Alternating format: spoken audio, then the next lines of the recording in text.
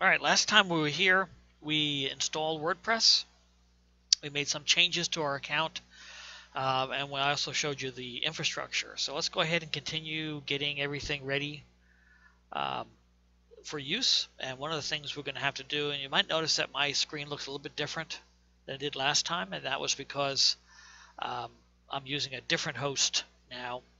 So uh, what I want to do is we want to go into settings and then go into general.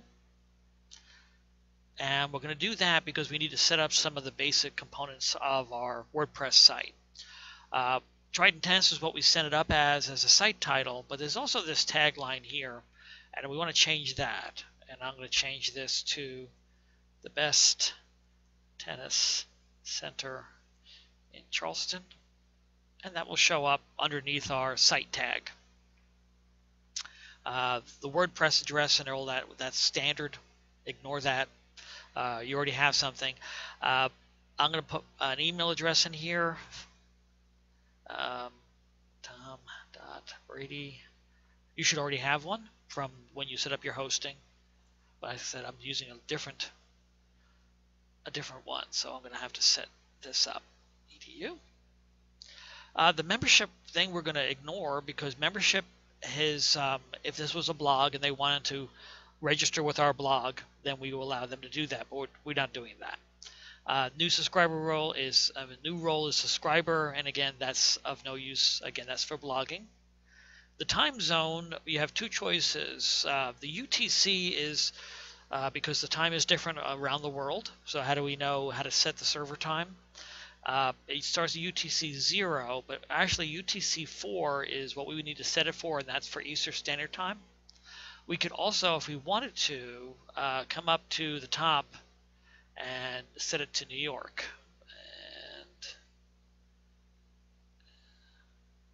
And, and New York. Okay, that is also Eastern Standard Time. Either one does the same. Uh, our date format, that's just fine the way it is. And our time format, that's just the way it is. And then our week starts on, for some reason it uh, starts on Monday, and for the rest of the world, we know it starts on Sunday. So we want our calendars to start on Sunday. If it starts on Monday, it's just going to confuse everyone. They look at the calendar thinking that the first day is Sunday. So we just leave this the way it is. We'll actually change it to Sunday, and then we'll go ahead and save those changes. All right, those are all changed. Um, if we view our website, we can see that nothing is found, and that's because uh, we haven't gotten started uh, on that yet. So let's go back to our dashboard. Actually, I'm surprised it did that. All right, so the next thing we want to do is let's go ahead and install a theme. So let's go to Appearance and then Themes. Uh, we should have the default, which is the 2014. And what we're going to be using, I like better, is the 2012. So how do we do that? We simply activate that theme. And, and now it is activated.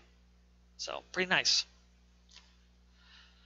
And then we can go ahead and change uh, the way that looks. But we're going to wait a second for that because the next thing we have to do is go ahead and get some pictures up. Um, and we do that with our media library. So if we go to media library, it allows you to put pictures in a couple of ways. One is it allows you to insert one directly from your computer, and the other one allows you to go into your media library and grab it from there. I highly recommend that you only use pictures from your media library. So if you want to use a picture, you upload it to media library first, and then you use it anywhere else on the website. If you don't and you pull something from your computer, the computer, the uh, WordPress doesn't know uh, that you have done that, and then next time you want to use that same picture, it'll make another copy of it because it says, well, you go into your computer, so it must be unique. All right, so what we want to do is we want to add new, and we're going to go ahead and select our files. So I'm going to go onto my stick and our Trident Tennis and our images and these are the images we created already uh, during the HTML CSS part of the class.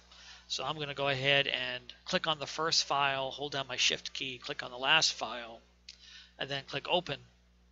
and it's going to throw all those pictures up um, into my library. Then once they're in my library, I can go ahead and configure them, and you can see they're popping up pretty quick. And that's what I want to do is I want to get all my pictures and media set up so that they could be used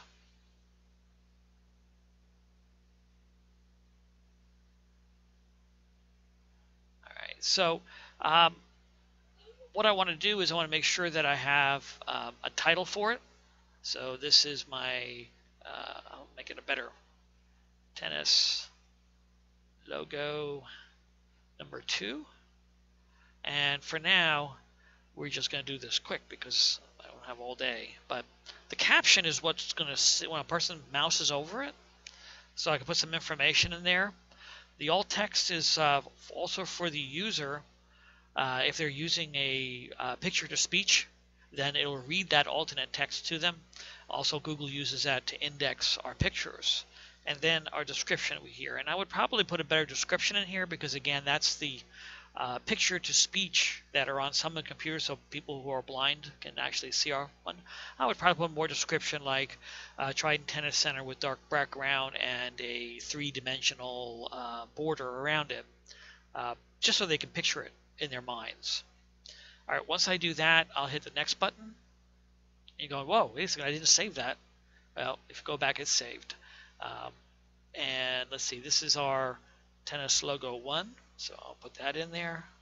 Tennis logo one. And again, because of space and constraints, but we don't want to not have a caption and not have alternate text and not have a description but we would do a better job, and I'll be expecting that when you do your uh, website. Right, and I'll go on to the next one. And this is the small one, so I'll do indoor tennis court. Small. And then I will copy that and again very lazily paste it in three more times. All right, that's saved. All right, and um, I'm already almost out of time. All right, so the the um, before we leave, I'm going to go ahead. Well, let's go ahead and finish this up, and then we'll move on. Um, to the next thing in the next video. So, okay, so this is tennis court indoor. And I actually don't like that. Shoot. All right, so I'm just going to do indoor tennis court copy and paste. Get rid of this and then paste it in and paste it in. Alright. Alright, I think you got the thing.